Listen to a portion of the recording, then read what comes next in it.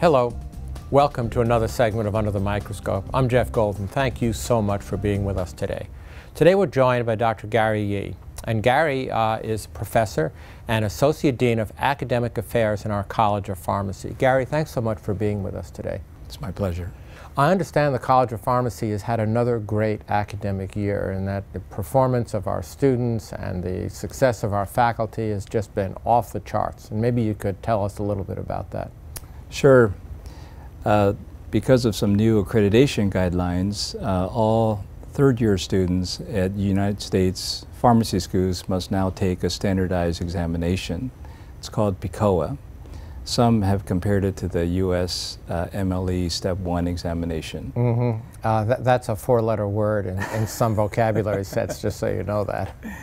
And, but it's new for pharmacy uh-huh. because uh pharmacy has never had a pre-licensure standardized examination. Mm -hmm. And so I'm pleased to report that UNMC uh, students have done very well. In fact, for 2018, uh, the average scores were the best among all 136 schools of pharmacy. So first of all, congratulations to you and to our faculty for the leadership and of, of course uh, to our students because I'm sure that their hard work and dedication had an awful lot to do with it. But this is occurring, as I recall, at the same time that you've made some significant changes not in what you teach in pharmacy, but in how you teach, and that it must have been just about two years ago that we started to go to a completely paperless system. Is that not correct? That's correct. In 2016, we went paperless, and we uh, extended that in 2017. We added the distribution of iPads.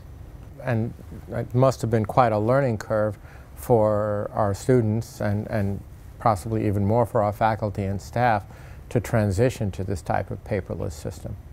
Yes, it was. Uh, students, of course, are digital natives, so they picked up on it very quickly. Uh, faculty have actually embraced the change as well. And so uh, I understand we had another great year in terms of performance on licensure exams as well. Uh, is that not correct? Yes, the, the 2018 data are not yet complete, but uh, what we see so far is that um, the College of Pharmacy students have done very well. So what's next? Uh, how does this uh, paperless iPad generation, these uh, digital natives as you call them, continue to move forward in pharmacy education and, and what's the Im importance of that for their careers, do you think?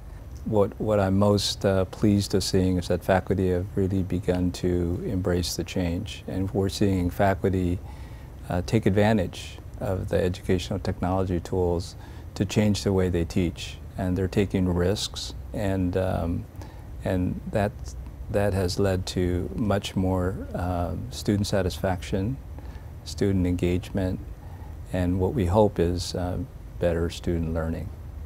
And do you think it's going to change not what they learn, but how much they can retain? Do you think it's going to have an impact on their ability to either move into a residency position of their choice or, or into a career?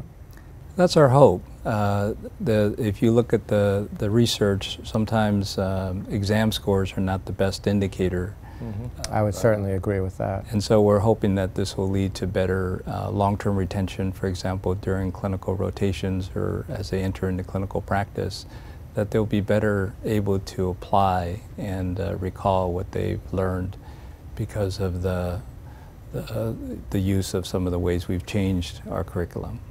Well, please extend my thanks and congratulations to all of the faculty and staff in the college that have been involved in this transitional project, but also uh, to our students who are just absolutely amazing. I've had an occasion to meet several of them through student government and other interactions, and one is more inspiring than the next. Well, thank you.